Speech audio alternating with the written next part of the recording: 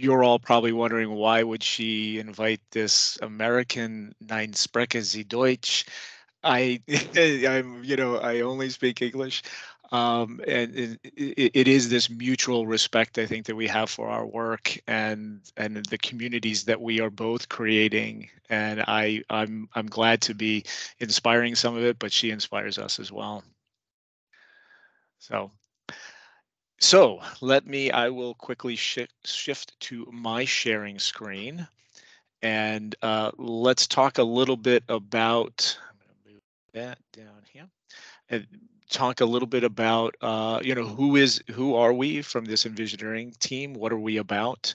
Uh, there are gonna be a lot of terms that I'll share here that aren't really earth shattering in terms of uh, language within the agile world or, or anything of that nature, but how we've approached it as a team uh, is certainly uh, different. Uh, I just literally I'm sitting in a, a, a room at one of our other facilities in Farmington Hills, Michigan, and my colleague Andrew Henwood on the far left there, he and I are co-facilitating a workshop in the room right next door with a group of leaders from one of our divisions and doing a team building workshop trying to get them uh, who they've just come together. And as it says here on the left it's applying the science of engineering to the creation of vision and the behaviors necessary to, to pursue it. This group is literally in there uh, they just formed like two months ago and the leader said you two worked with us a couple months ago. I'd love for you to come in and work with us. Uh, so that's what we're doing. So um, as we as a team, as individuals across North America, there are three of us here in the US, uh, two in Michigan. Brandon is down in our Gray Court facility down in South Carolina. Uh, we have folks across Germany. Uh, there'll be one more person on this picture uh, next month. Uh, we have the United Kingdom with Mike. Uh, we have two in China and two in India, and we're continuing to grow. But what we're about is about creating this bigger network, and I'll get more to that again to this community aspect of how we're trying to build that. Um, and what you also see here as well is how we are obviously based on our name envisioneering we're really really focused on our own vision this idea of zero friction but the idea that how there are negative frictions in the world and we're trying to reduce those negative frictions. Obviously, there are positive frictions that we want to use to become better, but we focus on the negative aspects of how to fix that. And then our mission statement about how we empathetically coach. We teach, coach, facilitate, mentor, but as it says here, coach, mentor, guide, helping people go through a lot of different learning, unlearning, and relearning such that we can impact our organization, whether it be through methodologies, be through processes, or even tools. I have to get my mouse here. There we go. So one of, as I said, with our vision statement, just to highlight that a little bit more, uh, I was, um, I had a great mentor uh, who unfortunately passed away on Christmas Day in uh, 2019. And for roughly a year and a half, he helped me really understand this power of vision and power of mission. And it's one of the things that a lot of the people who come onto the team and who are in the community around the team who who are looking at us saying, you have this focus on how to deliver through the vision, how to cascade the information, be it cascading from the top down or be it delivering and cascading up. And through that mission, we always are challenging ourselves to to determine whether or not we're meeting that, whether the work that we're prioritizing fits within that space. We formed because uh, uh, again these are mission uh, vision statements that are you know these are generic terms in in the marketplace. We know that zf has a, a, mission of next generation mobility and how we then work with that as we work through our down to our level uh, of of envisioneers. As we then work with each team and we work with other people who are trying to act in this same manner, we've really focused on this clear understanding of who are we in that vision, mission, values. Again, as I said, I'm working in this other room with Andrew, and in the next hour, they're going to be talking about those actual values. What what are all those things that they as a team value such that it impacts their mission and that it drives the strategy and, and everything else that they do? We have one item on this picture that's quite unique. Um, this red line between the strategic language of leadership and the operational language of management. And this is something that, again, working with the communities as they're trying to bring about change within their areas and bring about an understanding of, again, their strategy or the work that they're doing. We're trying to build leaders that work above that line and allow for them to understand how to separate that language of leadership and management so that they're not always down into that management weeds of doing the work. And oh, I should mention finally, uh, objectives and key results, OKRs. That's another big topic that we work in, working with people in understanding something that's called the language of outcomes.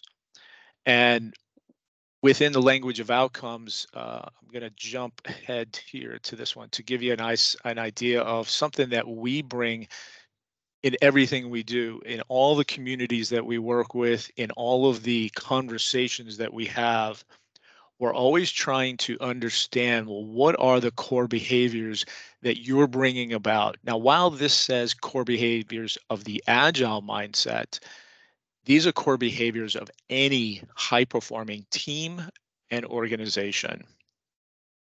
Now we can start right in the middle culture of trust and you can kind of wind your way around this circle if you will. It's sort of a believe it or not it's like a fibonacci sequence if you have that great culture of trust at the core, and then as you uh, again focus on vision as i kept mentioning and we work through a lot of these other behaviors which are core to the agile principles and the agile manifesto and even in the lean manifesto or the safe principles anything that we talk about we just boil these down to 10 core basics. And when we're doing all those together and as I mentioned, the, this idea of language of outcomes, and we all know about self governing and self organizing. And we all know about, for example, retrospectives.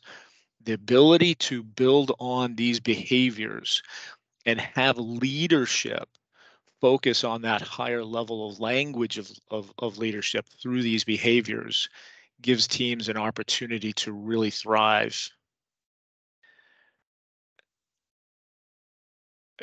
just going to jump back here to this one because as I mentioned, this idea, give me a second, this idea of, again, how do we bring that those behaviors into the into the space, into working with uh, individuals and teams and leaders. As I mentioned within that mission, mission statement, this learning, unlearning, relearning, that's that learn that paths of learning how do we understand something? How might we try to unlearn that thing? And then how do we go about relearning the thing that we just unlearned or the thing that we knew before? We also then take on different stances teaching, coaching, facilitating, mentoring, guiding. And it's really important to understand how these different stances allow for us as envisioneers to uh, again, work with individuals in their space. It's not about us coming in saying, we're going to tell you this and you're going to do it that way. It's about how do we explore it together to open up your mind through the learning, unlearning, and relearning in, in these different stances. And at the same time, understanding how the methods and the processes and the tools impact the ability to do the work.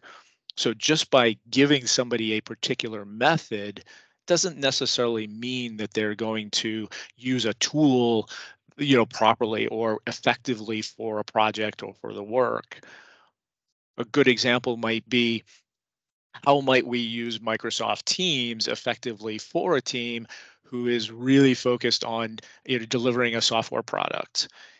If Teams isn't giving them the ability to collaborate effectively or in a timely manner or places to put you know repository of software uh, uh, code for example like github well maybe teams isn't proper uh, for them as a tool so we have to explore what options are going to work best for them and maybe there are processes as well that go along with that that we can look at how do we how do we modify some of that in inside of this, the short cycles and small batches of the work itself. So we're always exploring again all these models and languages together.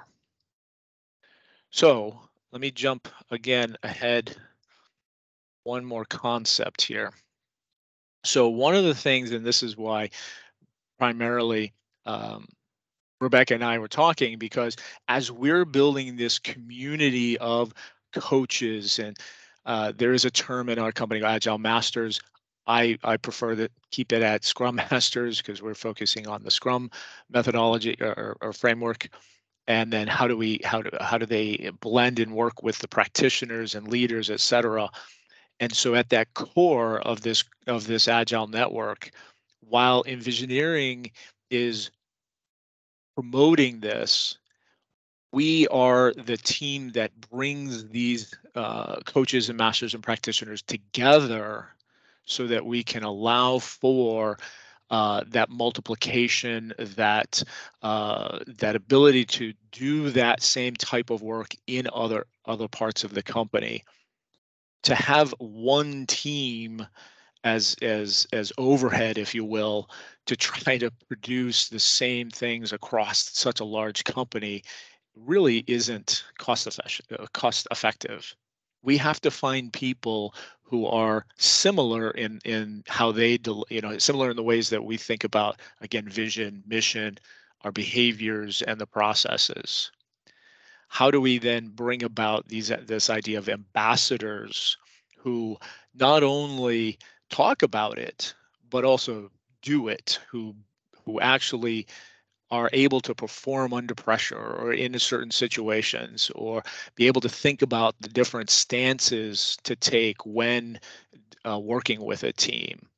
How to think about the different models. You know i i, I shared the pyramid of vision mission down through strategy etc we have many others about how to make decisions how to better work in uh, in those in those time box spaces. How to there's there are there are models within models.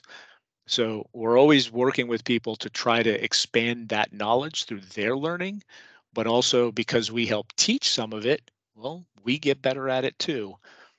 Prime example, uh, again, working with Andrew today, and he's he's a master teacher. He was a high school teacher for 13 years.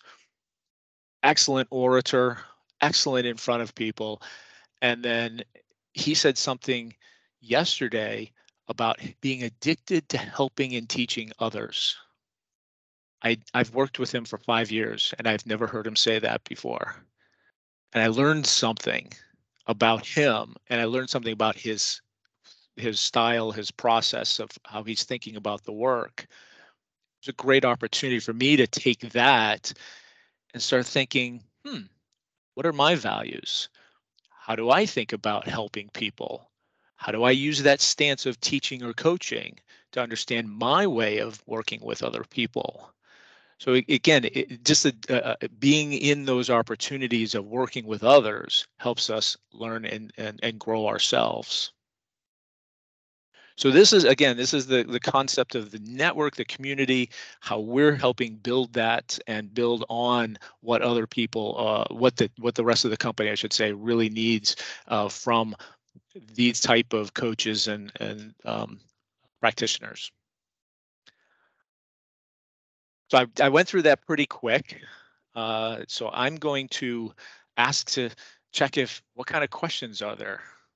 I'm going to come up here on my screen.